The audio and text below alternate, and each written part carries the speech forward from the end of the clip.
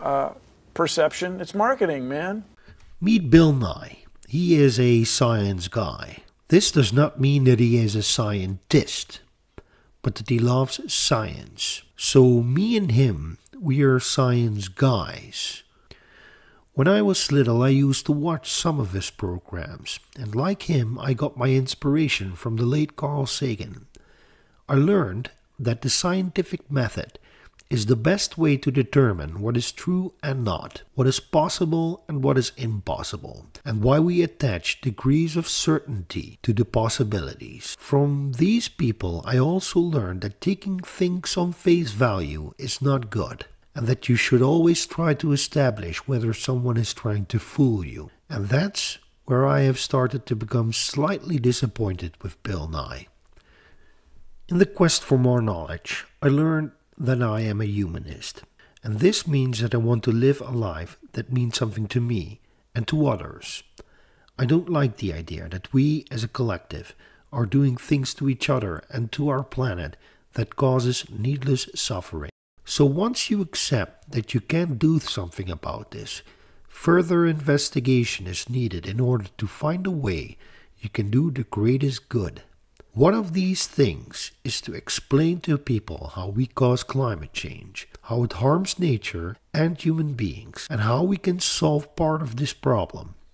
We should start with creating an abundance of energy, which in turn will probably lead to a decrease of suffering and an increase of prosperity. Has Bill Nye been misled? Or is he dishonest when he pontificates the idea that wind, solar, geothermal, and some hydro can do it all? Which stems from a scientific study, which in turn has spawned the Solutions Project. The Solutions Project has the outspoken support of Leonardo DiCaprio, Mark Ruffalo, and Bill Nye. Uh, perception. It's marketing, man. I haven't explained yet why this is such a big deal, but let's go on and establish whether Nye really means it. The same video provides the answer. Stand with Rand writes Can alternative energy effectively replace fossil fuels? Absolutely yes. Burning coal is the worst thing we can be doing.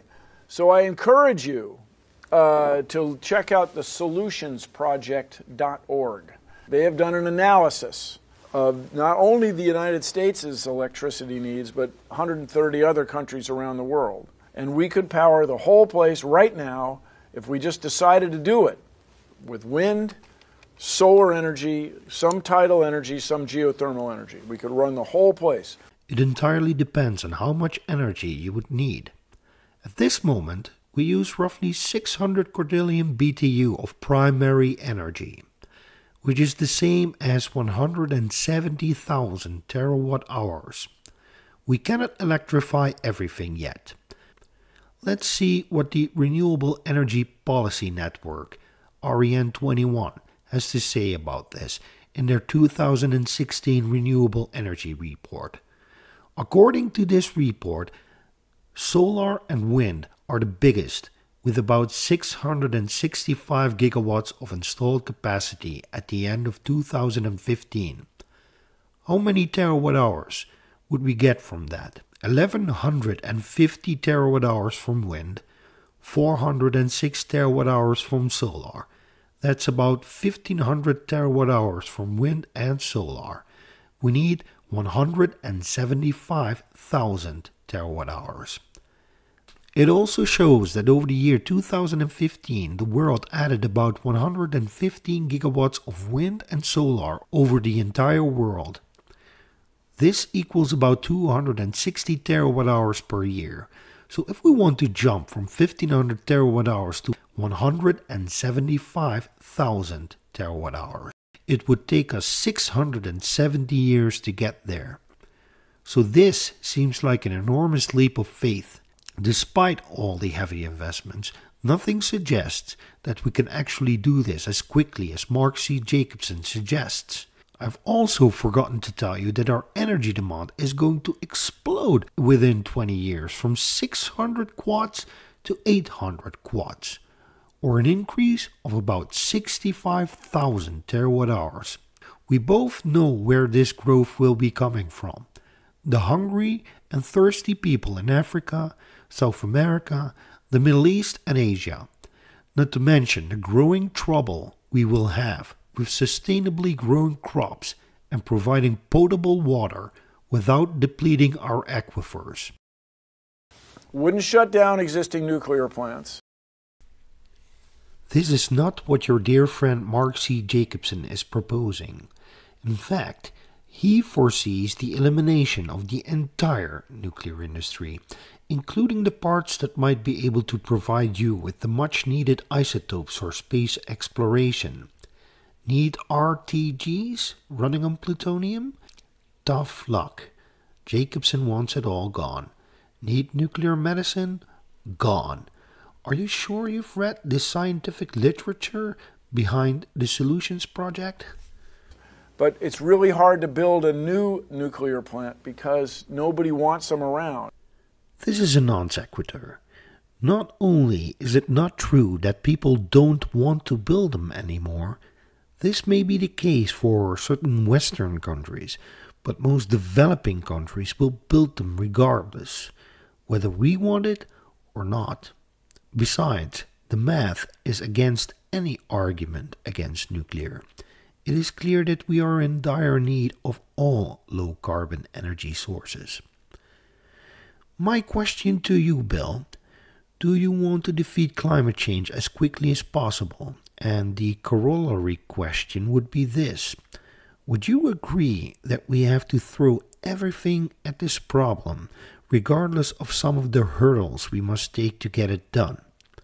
I will explain in a minute why it is unwise to discount nuclear power and why nuclear power will become far more effective in fighting climate change than it currently is. I think that it is high time that you start to acknowledge this, and if you don't, I'm going to expose doubt concerning your intellectual integrity is this thing, uh, you know, this word we love, cognitive dissonance, yeah. this phrase. So you have a worldview that disagrees with what you observe. Mm-hmm. So you might expect, if you were uh, open minded as a scientist, as a scientifically literate voter or taxpayer or kid, you might expect that you'd respect the data and change your mind. The data is pretty clear, albeit with a broad margin of error. There are certain things we simply cannot extrapolate at this moment. How will energy demand grow in the developing countries, for instance? How effective will we be in the total electrification of all our processes? What about material constraints? Jacobson, for instance, is overly optimistic. Just because the elements are present on the Earth doesn't mean that we can mine them and do so with the speed required to do this massive renewable build out bonanza. Have you ever considered the fact that if we want to increase production of wind turbines and solar panels by a factor of 10, that resource requirements will increase manifold as well? Have you ever seen an analysis of copper production rates and tried to corroborate them to copper used in wind and solar technologies? Or what about cobalt, lithium, phosphor, boron? If I were you, I would be far more hesitant to promote the Solutions Project because these resource limitations have not been weighed correctly. But you see what I'm saying? Right, is yeah. that so our problem, everybody, is this doubling down, this backfire effect. And so we have to work I think, diligently in the science community to fight back. Of course, there are the facts. Yeah, absolutely. We'll start with those, but there's this human nature thing on both sides to fight back. We have our bubble over here, they have their bubble over there.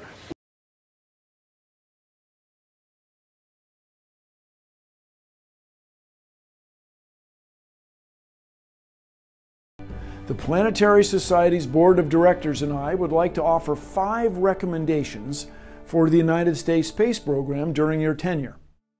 Number one, keep the planet Mars as the goal for human space exploration. We strongly recommend against starting over. Let's maintain all of the existing programs, robotic missions. Extraterrestrial robotic missions have the highest chance of success when they are fitted with RTGs. RTG stands for Radioisotope Thermoelectric Generator and is being fueled with plutonium 238. That's a nuclear fuel, which helps generate electricity thanks to decay heat and will run for decades, keeping alive Voyager, Cassini, and Curiosity rover. This is the same way we explored the moon. Apollo 8 orbited the moon before Apollo 11 landed there. Right. And what did the astronauts use on the moon to get their electricity? RTGs. Number three, strengthen NASA science. NASA has four science divisions that explore the deep cosmos, our solar system, the sun, and our home planet Earth. NASA engineers and technicians build and launch robotic spacecraft that support tens of thousands of American jobs in engineering, precision manufacturing, and science. I urge you to embrace the full potential of all of NASA's science programs so they can continue to lead the world in science, technology, and exploration. I share your optimism about the ability of NASA to create a great future for the world. Thousands of gifted people from all over the planet will be able to deploy their talents there and come up with amazing stuff. Private space companies have grown substantially in the past decade. Let's unleash private investment in low Earth orbit and find ways to encourage this next generation of entrepreneurs and inventors to blaze a trail to Mars and beyond. There's a new movement for space happening today. Let's keep it going small modular reactors and molten salt reactors. The ambitions and capabilities of private nuclear startups have grown substantially in the past decade. Let's unleash private investment in energy abundance and find ways to encourage this next generation of entrepreneurs and inventors to blaze a trail to a prosperous future for all. There's a new movement for energy happening today. Let's keep it going. Did you see what I did there? Not only must we keep our current fleet of reactors running, we must encourage startups to build their designs, test them, and commercialize them. Otherwise, this entire, well, they are only designs narrative will become a self fulfilling prophecy. By the same token, if we would say that about any of the things we do in space, often with decades of planning ahead, none of it would ever happen. You, Bill Nye, as the head of the Planetary Society, surely must know that. Small modular reactors, and the molten salt reactor in particular, are right around the corner. These are natural iterations of extant technology. We already had a functioning molten salt reactor back in the 60s. You, as an ex airplane engineer, must know how complex airplanes are especially the Boeing 747 on which you worked. And yet we build one, maybe two a day. Molten salt reactors are simpler. We can build these like we build airplanes, or buses, or ships. We can churn out hundreds of these units each year. But this will only happen if people like you start supporting these great Idea too. The skepticism you show when new nuclear designs are concerned is just as unwarranted as the skepticism others show about space exploration. We achieved the stuff we set out to do. Another thing about the molten salt reactor is that it is inherently safe. It cannot blow up because it runs at atmospheric pressure. The fuel is already molten, so a meltdown cannot happen. If there is a failure, the fuel will simply drain into a subcritical drain tank and solidify. Yes, that's right. The fuel cools down because it wants to cool down. It's the polar opposite of the extant light water reactors, where you need pumps to keep the fuel rods from overheating. So there it is.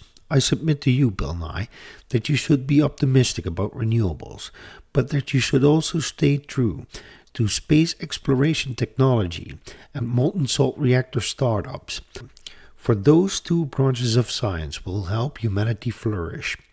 We will be ending wars over fossil fuels. We will be ending deaths from diarrhea, malaria, and malnutrition. And we will usher in an age of space exploration thanks to the renewed prosperity on Earth and our increased harmonious coexistence with the biosphere. If you like this video, please click the thumbs up button and subscribe because it really helps to channel out. Also, if you want me to create more of these videos, please check out my Patreon page and pledge a little amount of money so I can take care of my family while creating more content. Value for value. Thank you for watching.